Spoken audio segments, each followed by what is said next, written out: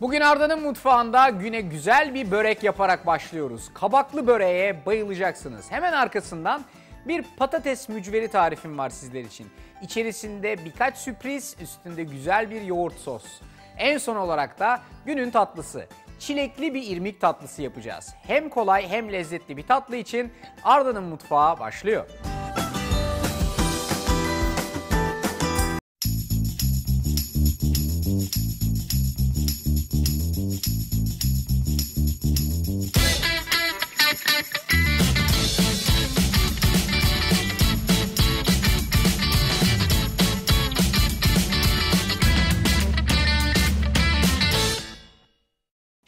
Önce kabaklı böreği yaparak başlayacağız. Kabaklı börek olur mu diyebilirsiniz. Ama gerçekten güzel oluyor. İnanın çünkü bu Üsküp yöresinde çok güzel yapılıyor. Ee, ama biz bunu birazcık hani hafiften değiştireceğiz ve aslına uygun olduğunu düşündüğüm bir halde yapacağız. Bir kere şimdi burada 5 tane irice boy kabak var elimde ve bu kabakları sizi beklerken rendeledim. Üstüne şöyle bolca da tuz serptim ve kendi kendine bile beklerken tuzla beraber kabağın şu fazla suyunu birazcık işin dışına çıkarttım. Fakat gördüğünüz gibi hali hazırda içinde epeyce hala su var. O yüzden bu tuzlama işleminden sonra bile alıp şöyle güzelce sıkmanızı ve içinde var olan fazla suyundan bir parça kurtarmanızı istiyorum sizden. Valla gördüğünüz gibi siz sıktıkça kabağın içindeki su çıkmaya devam ediyor. Şimdi e, daha da fazla sıkmıyorum çünkü burada gördüğünüz gibi yeterince su çıktı içinden. Bu benim için gayet uygun bir kıvam. Bu suyu bir şekilde içinden dışarı çıkartmak için çok daha uzun bir süre e, ocağın üstünde vakit geçirmemiz gerekiyordu. Şurada genişçe bir pilav tencerem var elimin altında. Altını yaktım ve ilk etapta buradaki gördüğünüz suyunu sıktığım kabakları direkt olarak tencerenin içerisine alıyorum. Ve bir parçacık hani nemini almak için, bir parçacık bu ıslaklığını almak için böyle hafifçe şurada bir çevireceğim bunları. Yani birazcık böyle biraz ateşin üzerinde döndüreceğim. Ara ara gelip onu şöyle bir bir parçacık karıştırmak benim için yeterli. Tezgahın üstüne geleceğim ve bunun şimdi hamurunu tutmaya başlayacağım. Zor bir hamur değil. E, fakat buna benzer börekleri daha önce yaptık. O yüzden benimle beraber giderseniz hiç sorun yok. 5 su bardağı un var burada. Ve birazcık da yoğurmak için kullanacağım un var. Onu da arka taraftan alacağım. Bunun ortasını açıyorum. Unun. Aslında şimdi burada yani diğerlerinden farklı bir uygulama yapacağım. Maya yok burada. Mayalı olmadığı için unu şu anda bu etaptan ilk baştan birazcık tuzla lezzetlendirebilirim. Maya olmadığı için. Bunun içerisine tuzu koydum. Güzelce bir karıştırıyorum. Hafiften ortasında bir çukur yaptım. Sıvıları da bu çukurun içine koyup hamurumu tutacağım. 2 su bardağı su, bir parçacık da sirkeye ihtiyacım var. Sirke biraz daha gevrek bir kıvam vermesi için gerekli. Her zaman kullandığım klasik su bardağı. Bir. Şu da iki su bardağı. Üstüne yaklaşık bir yemek kaşığı kadar sirke ekliyorum. Gelelim buraya. Şimdi bir çatal alıyorum. Önce çatalla daha sonra elimi de işin içine sokarak bunun hamurunu güzelce yoğurmaya başlıyorum. Önce şöyle bir çatalla sonra yoğurma kıvamına geldiğinde tezgahın üstüne alıyorum.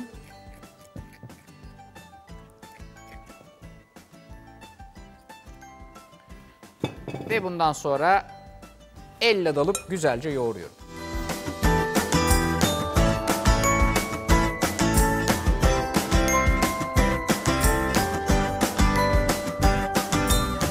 Şimdi bu arkadaşı yoğurma kıvamımız aslında budur. Yani bakın tezgahın üstüne yapışmıyor ama yumuşak. Yani şöyle üstüne bastırdığınız zaman gayet yumuşak bir kıvamda.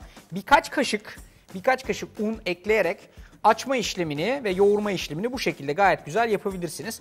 Oldukça yumuşak ve hoş bir hamur kıvamında. Şimdi bunu aslında böyle üstüne nemli bir, bir bez koyup birazcık dinlendirmekte fayda var ama ben tabii o kadar dinlendirmeyeceğim. Direkt olarak yoluma e, bu iç harçla ve bunun yağıyla devam edeceğim. İç harçta kabakları hafiften kavurmaya başlamıştık hatırlarsanız. Şöyle epeyce bir miktar diriliğini kaybetti. Hacmini de kaybetti. İçindeki suyu birazcık dışarı attı ve aslında tam tabiriyle dehidre oldu. O kadar artistik tabirlere gerek yok. Şimdi bunun diğer eklemelerini yapmam lazım. Bu biraz böyle ıslak ıslak bir börek olacak. Islaklığını da içine koyacağımız sütten alacak. Yaklaşık böyle ee, bir buçuk su bardağı kadar şu bardaktan sütü direkt olarak ekliyorum içerisine. Bir buçuk su bardağı süt. Ee, biraz şeker ekleyeceğim ama tatlı hale getirmeyecek. Sadece birazcık lezzetini dengeleyecek. Bir yemek kaşığı kadar şeker, tuz, karabiberle bu iş tamam olacak. Şu bir yemek kaşığı kadar şeker ekledik.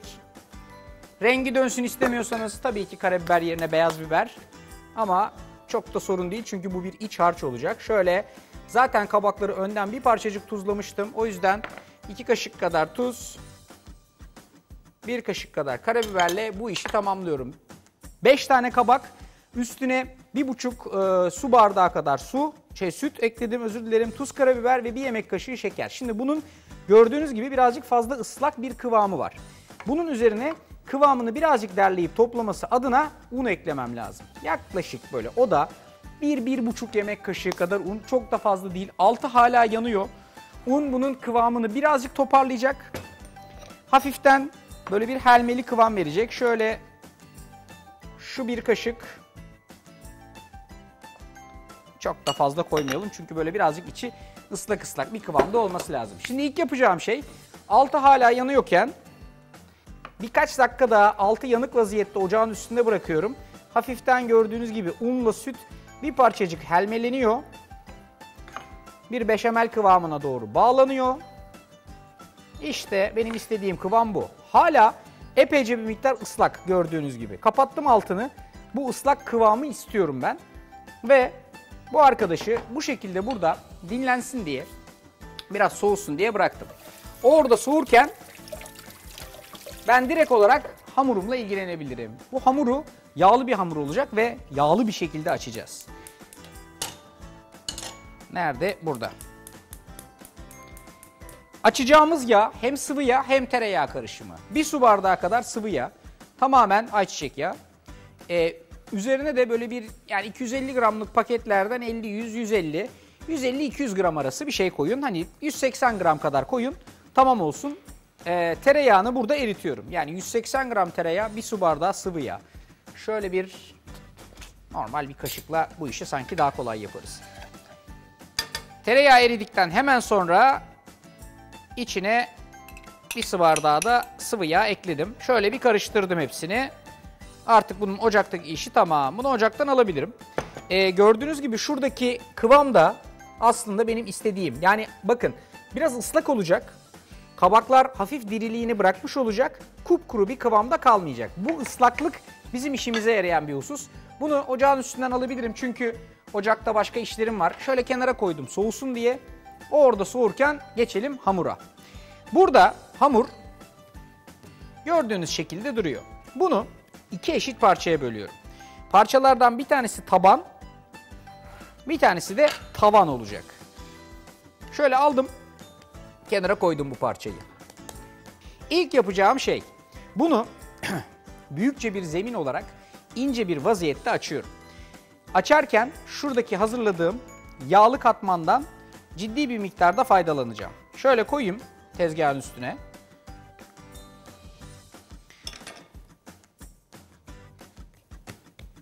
Hamurunuzu da onun üstüne koyun. Arkasından bu hamuru şöyle yağlı katmanın üzerinde yürütecek şekilde inanın bana elle bile açabilirsiniz. Yani e, hani oklava, merdane vesaire gibi bir şey çok ihtiyacınız da olmayabilir.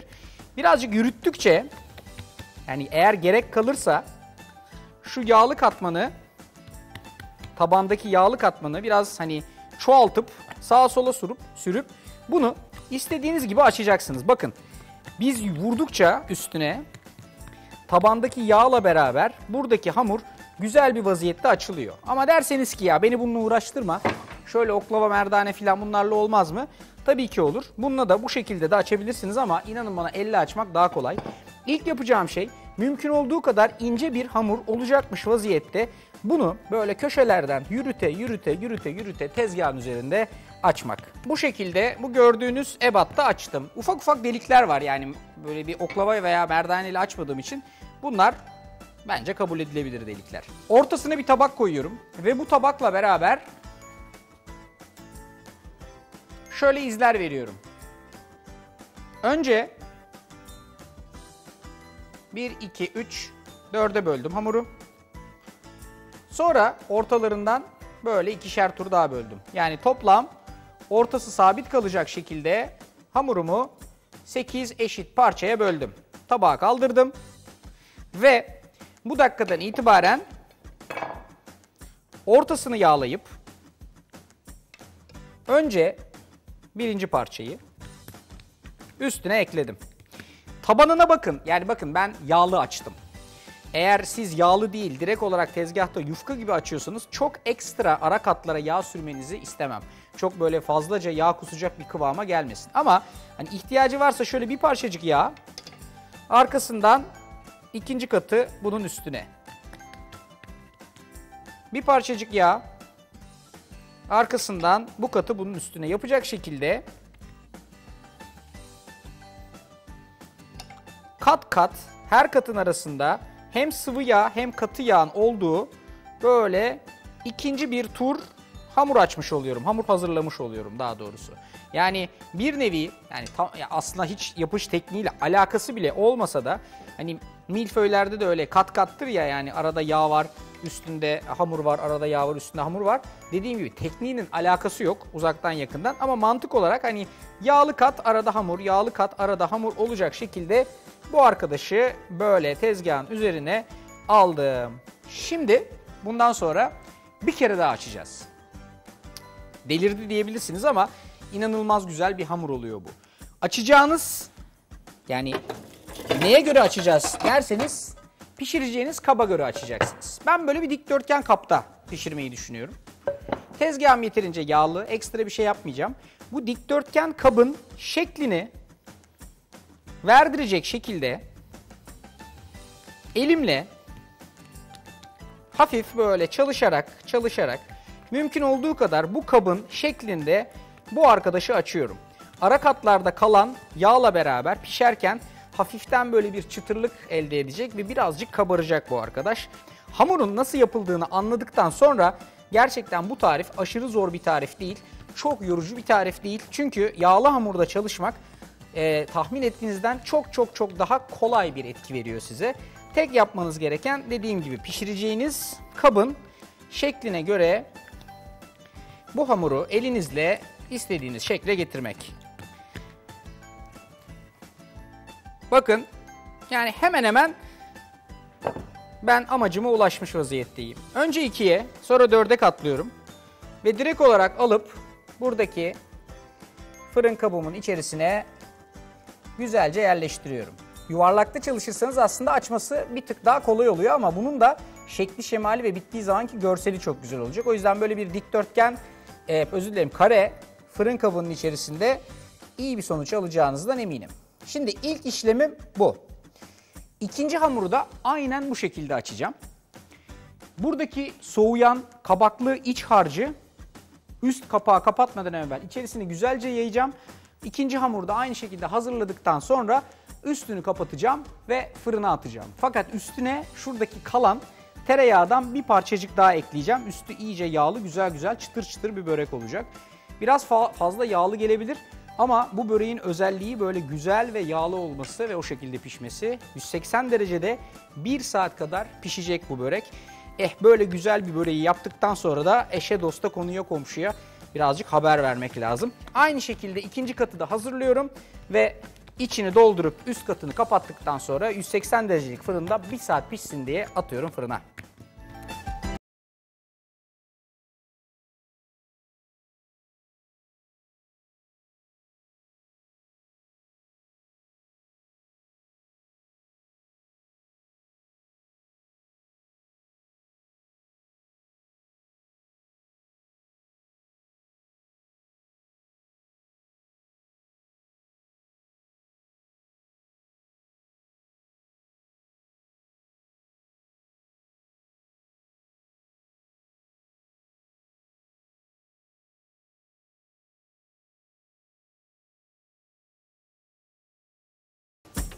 Börek kısmını hallettik. Valla aslına bakarsanız bugünün zor kısmı oydu. Yani zor zoru bitirdiğimize göre artık kolaylarla devam edebiliriz.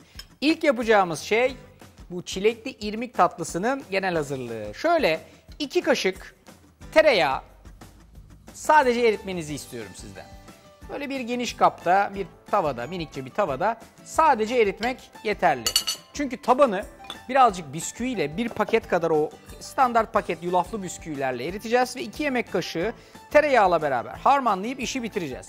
Yağım erirken ben de burada bu küçük e, yapacağım irmik tatlısı için hazırlayacağım muffin kalıplarını göstereyim. Böyle kağıtlar koydum içine yani muffin kalıbının içine minik minik kağıtlar koydum ve genel hazırlığımı bunun içinde yapacağım. Hem tabanı hem de irmiği bunun içinde hazırlayacağım. Bunu alıyorum ve direkt olarak gelip buradaki hazırladığım bisküvilerin üzerine gezdiriyorum. Çok aşırı yağ dökerseniz birazcık fazla yağ kusabilir.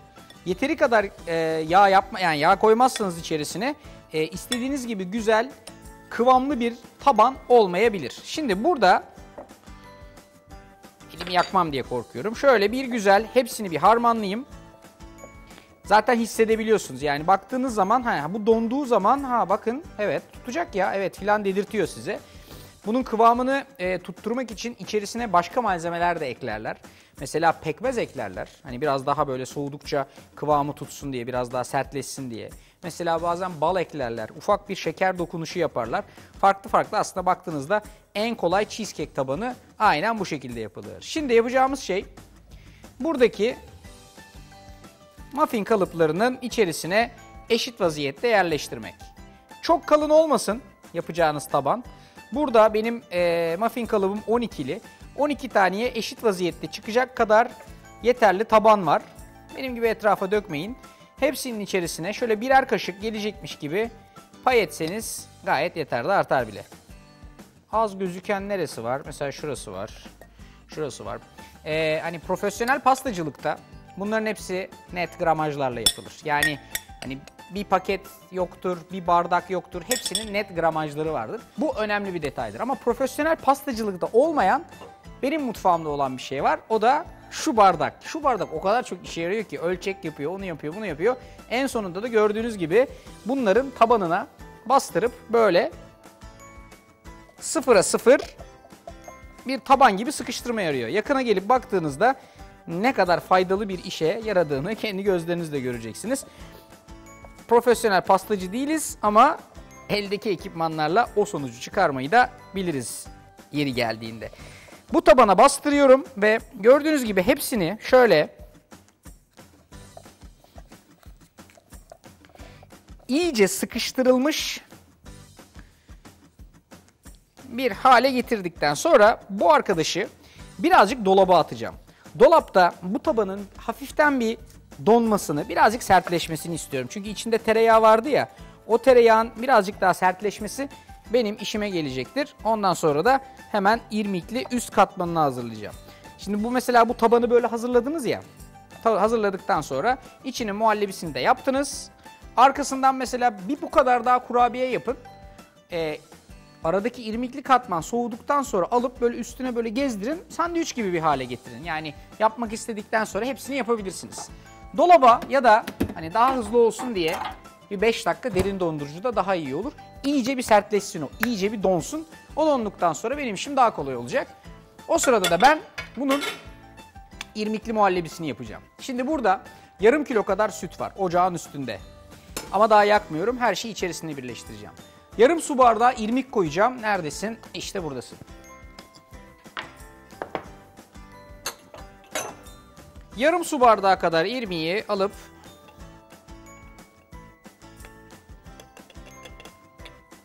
yarım su bardağı oldu. Sütün içerisine ekliyorum. Her şeyi karıştıracağım ondan sonra da işi bitireceğim. Şeker lazım şeker. Bu tatlıya şeker lazım.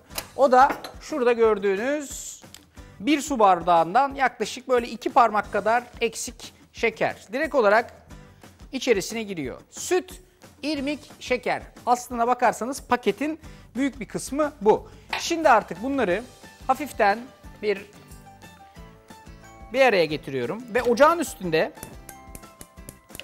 kontrollü bir ateşte başından ayrılmadan İrmik, süt ve şeker bir araya gelinceye kadar karıştırıyorum. Baktığınızda işin tamamı bu kadar. Fakat aroma eklemek isterseniz kaldıracaktır. Mesela olgun bir muz alın, ezin, içine koyun ve muzla beraber böyle karıştırın. Çok güzel kıvam aldırır. O zaman irmiği birazcık eksiltebilirsiniz de irmikten güzel tadılır. Veya çilek alın böyle ezin püre vaziyetinde içerisine katın. Rengi biraz daha ona dönecektir. Tadını oradan alacaktır. Ne isterseniz bu şekilde yapabileceğiniz güzel bir tatlı.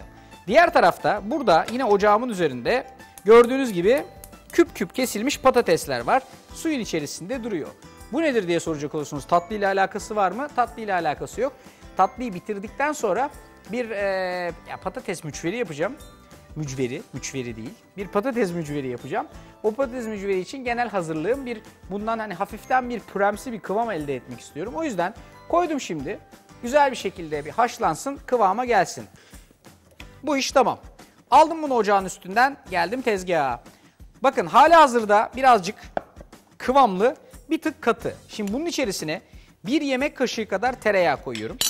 Ve tereyağın bunu kendi sıcaklığıyla yağı eritiyorum. Niye bu safhada koyuyorum da en başından koymadım? Çünkü bu tereyağı bunu birazcık daha parlaklaştırıyor. Bir ikincisi e, her her halükarda soğuduğu zaman iyice donmasını sağlıyor. Son olarak birazcık da bir paket kadar da şekerli vanilinlerden koyuyorum. Taze vanilya tohumları varsa onlar da olur ve hepsini beraber böyle güzelce karıştırıyorum. Vanilyayı da bu son safhada koymamın ana sebeplerinden bir tanesi ısıyla beraber çok acımtırak bir kıvama gelmesin diye ya da el alışkanlığı artık işte böyle bunu uzun uzun vanilya ile beraber kaynatmaktansa son batımda aromasını vermesi benim için yeterli. Her şey istediğim kıvama geldi. Şimdi bu arkadaşı derin dondurucuda bir, bir ya birkaç dakika kadar beklettiğim tabanların üzerine dökeceğim. Daha önceki seferlerden bu dökme işinde çok başarılı olmadığımı öğrendikten sonra artık yardım almaya karar verdim. Bunu bu şekilde koymak çok daha kolay oluyor. İyice soğumuşlar. Bu soğuma işlemi şundan dolayı önemli. Bu sıcak eğer bu da yeteri yani yeteri kadar soğumazsa birazcık ee, hani oda sıcaklığı kıvamında olursa üstüne koyduğunuz zaman ikisinin kıvamı birbirine çabuk geçebilir. Benim korkum odur. Siz de böyle yaparsanız işi garanti altına almış olursunuz. Gördüğünüz gibi aslına bakarsanız benim yaptığım irmikli tatlı minik atıştırmalıklar bu kadar kolay. Hepsinin üstüne eşit vaziyette bu irmikli katı döküyorum. Ondan sonra bir parça oda sıcaklığında bekleteceğim. Sonra da atacağım dolaba iyice soğusun diye. Üstüne dekor olarak birazcık çilek koyabilirsiniz. Üstüne dekor olarak birazcık muz koyabilirsiniz. Çok kararan meyvelerden koymamaya özen gösterin. Çünkü kararan meyveler özellikle muz gibi e, yani açıkta kaldıkça birazcık renklerini kaybediyorlar. Birazcık işte üst adı üstünde kararıyorlar. Bu iş bu kadar. Şöyle koyalım kenara. Birazcık beklesin. Sonra da atacağız dolaba. Tas tamam işi bitireceğiz. E şimdi tatlım tamam. Diğeri de fırında pişiyor. Güzel gidiyor. Dikkat ettiyseniz onu ortaya değil tabana attım. Niye? Çünkü tabanda e, alt üst fan alttan gelen ısıyla beraber yani tabanın fırının kendi taban ısısıyla beraber e, ben öyle yapıyorum. Böreklerin vesairelerin daha iyi ve eşit vaziyette pişmesini sağlamış oluyorum. E, belli bir süre sonra bir son 15-20 dakika üstü birazcık daha pişsin diye eğer arzu ediyorsanız üst tarafa alabilirsiniz ama önce birazcık tabanını pişirin her zaman faydalı. Ocağa şöyle genişçe bir tava koydum. Niye? Çünkü artık bu patates mücverini yapmaya başlayacağım. Adı patates mücveri fakat içerisinde sadece patates olmayacak bunun.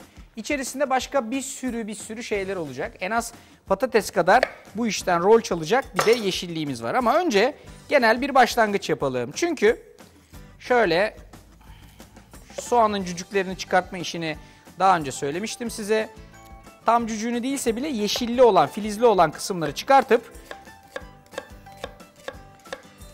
ince yemeklik doğrayarak başlıyorum.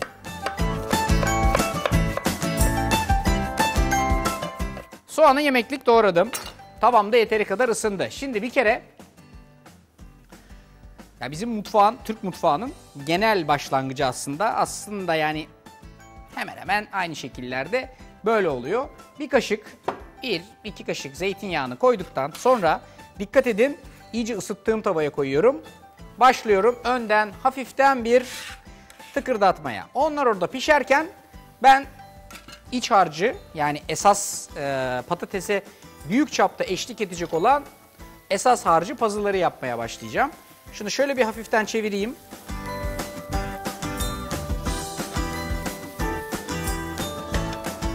Bunlar burada yavaş yavaş yumuşaya dursunlar. Gelelim puzzle'lara. Burada şimdi epeyce bir miktar pazı var elimin altında. Ee, yani ne kadar derseniz herhalde bu bir, bir iki bağ falan vardır diye tahmin ediyorum. En kötüsünden bir bağ var. Biraz ıslak. Yıkadım. Her seferinde böyle yapıyorum. Size de öneririm. Dolapta muhafaza etmek isterseniz de aynen böyle yapabilirsiniz. Her seferinde yıkayıp temizledikten sonra böyle bir temiz mutfak havlusuyla e, sarıp ve üstünü kapatıp kurumasını, rengini kararmasını engellemiş oluyorsunuz. Aralarda gelip şuna da böyle bir bakalım. Sadece kontrollü bir ısıda bunları burada yavaş yavaş pişirelim. Puzzle'lara geldiğimizde çok yoğun bir işlemi yok bunun. Puzzle'ları şöyle tamamen gelişi güzel doğramanızı istiyorum sizden. Çok çok iri iri kalmasına gerek yok ama e, hani iyice küçücük olmasına da çok lüzum yok. Çünkü bu bütün bu yeşillikler pazı olsun, ıspanak olsun ateşi gördüğü zaman bütün hacimlerini ister istemez kaybediyor. Çok e, böyle kara lahana vesaire gibi aşırı bir acılığı olmadığı için de bunu böyle tuzla ovup herhangi bir şey yapmanıza gerek yok.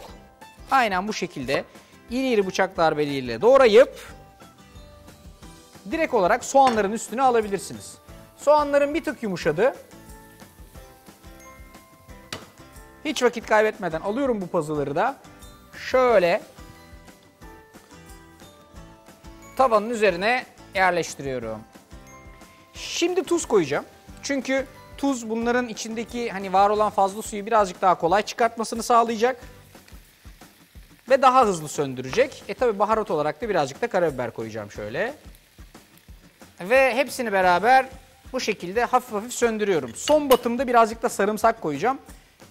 Onu unutmuş değilim. Şimdi burada e, patatesleri birazcık haşladım. Çok fazla aşırı suda haşlamadım. Hemen hızlıca süzüyorum.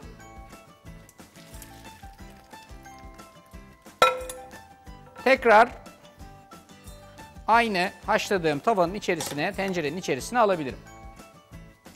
Normal şartlarda patates püresi yaparken bir sürü bir sürü bir sürü bir şeyler koyarız içerisine ama burada 4 tane haşlanmış patatesin içerisine ben sadece birazcık süt koyacağım. Birkaç kaşık kadar.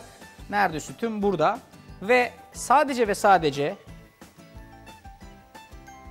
birkaç kaşık süt bu iş için yeterli olacaktır ve bu şekilde ezeceğim bunları.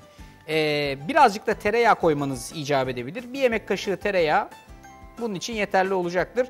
Hem şu yeşillikleri söndürüyorum hem de aynı zamanda patatesi burada sütle beraber güzelce eziyorum.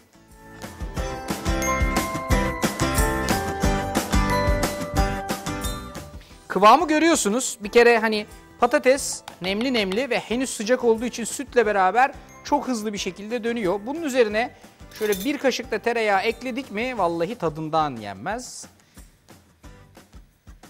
Bir yemek kaşığı tereyağı o iş tamam.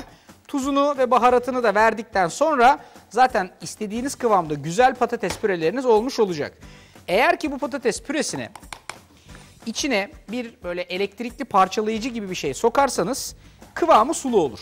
Yok eğer sokmaz bunu bu şekilde böyle rendeleyerek ya da bir eziciyle bu hale getirirseniz gördüğünüz gibi gövdeli olur. Yani içine koyduğunuz krema olsun, tereyağı olsun, süt olsun bunun kıvamını aşırı derecede akışkan hale getirmez. Böyle gövdeli bir kıvamda olur. Mücver yaparken veya böyle biraz daha kalınlaştırılmış kıvamlı patates püreleri yaparken size önerimdir. Diğer tarafta buradaki işler de iyi gidiyor. Pazılar neredeyse olmak üzere. Bunun üzerine birazcık da sarımsak ekleyeceğim. Dedim ya o lezzeti istiyorum diye. Sarımsakları her zamanki gibi ezmiyorum. Sadece böyle ince ince doğruyorum. Ve istiyorsanız ezerek de koyabilirsiniz. Yani üstüne kırıp vurduktan sonra hafif hafif ezebilirsiniz diye. Ama böyle içinde birazcık iri iri kalması beni rahatsız etmiyor bu batımda. Birazcık daha ince kıyayım da sonra yerken çok böyle fazla diri diri ağza gelip rahatsız etmesin.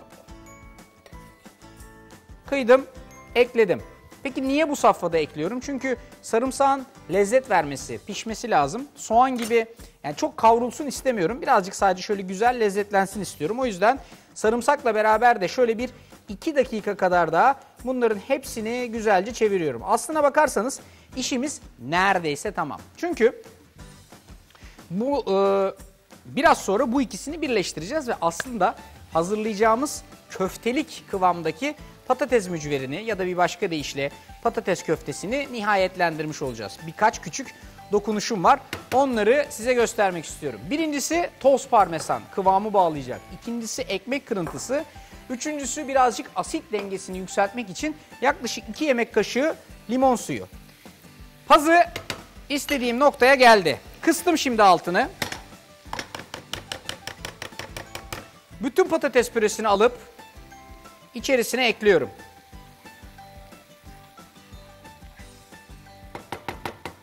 Hatta kısmak da değil. Direkt olarak altını kapattım. Bütün patates püresini işin içerisine ekledim. Arkasından şöyle azıcık bir limon suyu gezdiriyorum. 2 yemek kaşığı kadar.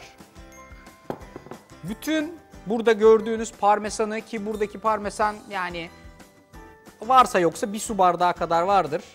Onu gezdiriyorum. Birazcık böyle kıvamı bağlayacak olan şey bu. Aşağı yukarı 2 su bardağı kadar ekmek kırıntısı var. Onu da ekliyorum. Ve son olarak da yumurta ekleyeceğim ama yumurtayı hemen bu safhada eklemeyeceğim. Onu bunların hepsini güzelce karıştırıp harmanladıktan sonra ekleyeceğim. Çünkü şu anda tava, patates püresi, o, bu hepsi aşırı derecede sıcak kıvamdalar. Yumurtayı şimdi eklersem bir anda bu böyle patatesli puzzle'ı yumurtaya dönebilir. Ondan korkuyorum. Bir kere her şeyi bir güzel karıştırayım. Birazcık hatta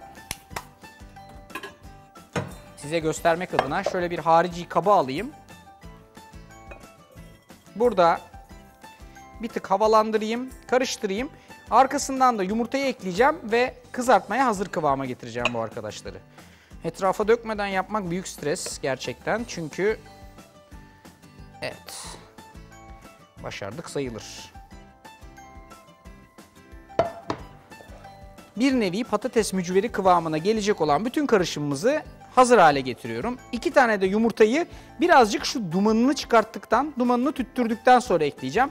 Geldiği kıvam bu. Şimdi yumurtaları kırıp kırmamak için neyi bekliyoruz? Soğumasını. Nasıl anlıyoruz? Parmak testiyle. Sokun parmağınızı. Yakıyor mu? Yani sıcak hissediyorum ama gördüğünüz gibi içinde durabiliyor. Yakmıyor.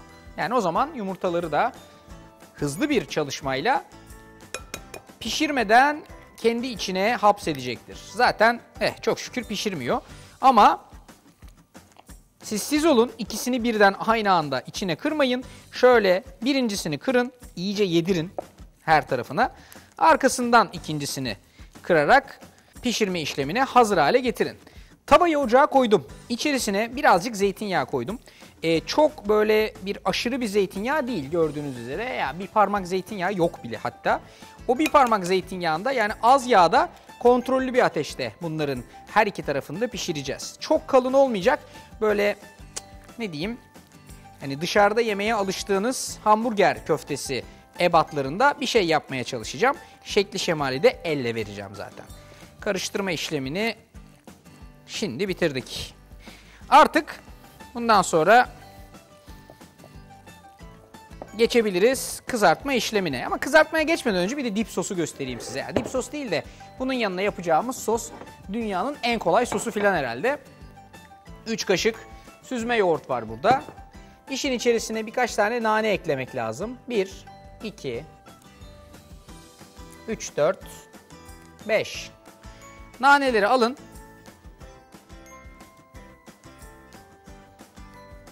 Şöyle bir rulo yapın. Ve incecik kıyın.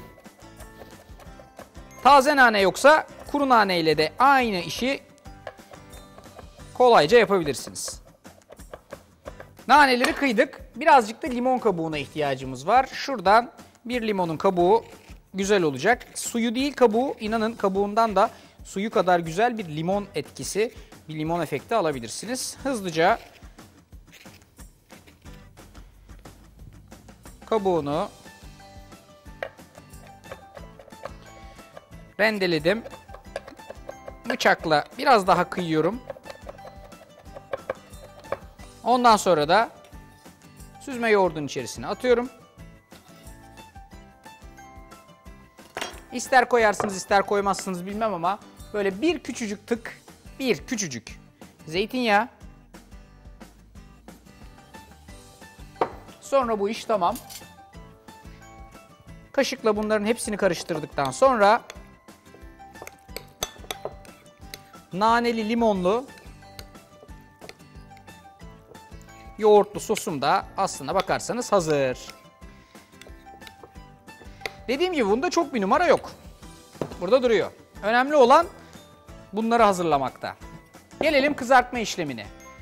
Yağın altı de, yani size söylediğim gibi kontrollü bir vaziyette yanıyor. Çünkü çok az yağda yapıyorum. Pişirdiklerimin hepsini çıkartıp bu kağıdın üzerine alacağım. Alıyorum bir parça elimle. Avcumun içerisinde şöyle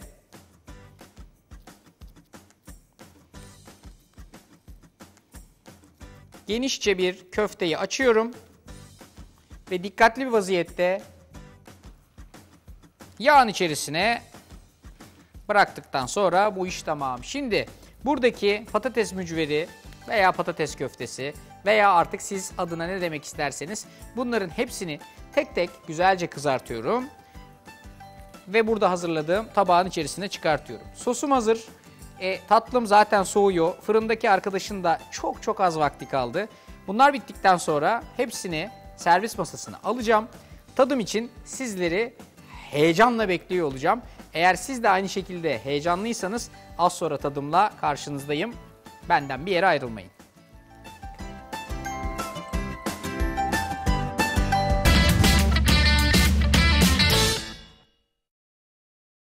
Ne ara geldiniz ya?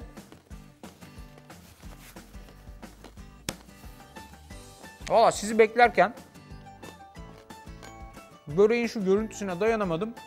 Başladım yemeğe. Yakından gelin size şöyle görüntüsünün nasıl olduğunu bir göstereyim. Valla görüntü gördüğünüz gibi bak böyle üst katman çıtır çıtır kıyır kıyır gidiyor. Doğru bir vaziyette pişirdiğinizde geldiğimiz kıvam aslında bu. Yani bu börekten alıp dilim dilim istediğiniz gibi şahane bir şekilde yiyebilirsiniz. Böreğe gösterdiğim ilgiyi birazcık da bu patates mücverine göstereceğim. Çünkü zaten aslında içi pişmiş olan patates mücveri ve dışını da güzel bir şekilde kızarttığınızda görüntü olarak böyle gayet hoş, lezzetli ve albinili bir kıvama geliyor. Eğer yanındaki yoğurt sosla bu dip sosla beraber yerseniz hafif limon ve naneden gelen bu kışkırtıcı tadı da alıyorsunuz. Yani istediğiniz büyüklüklerde yapın, istediğiniz şekilde yiyin. Çok çatal bıçakla yemeye de gerek yok. Şöyle götürebilirsiniz.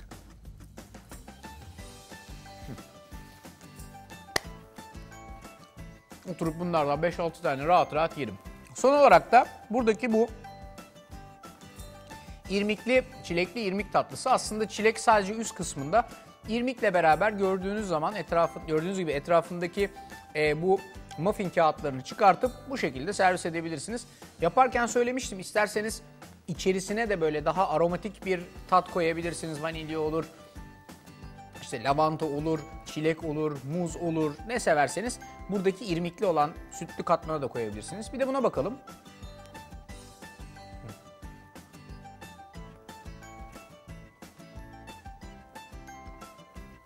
Vallahi böyle bir yoğun yemeğin üstüne çok iyi geliyor serin serin. Resmen ağzınızın içerisinde gelişen bütün aromayı derliyor, topluyor. Sütlü böyle lezzetli bir şekilde böyle gelip son noktayı koyuyor. Eğer bu tariflerin detaylarını kaçırdıysanız ve Facebook'ta Arda'nın Mutfağı sayfasını takip ediyorsanız hemen oraya girip hem bugünkü hem de bundan önceki bütün tarifleri oradan edinip hemen mutfağa koşup siz de bunları benim yaptığım gibi hatta benden çok daha güzel bir şekilde yapabilirsiniz.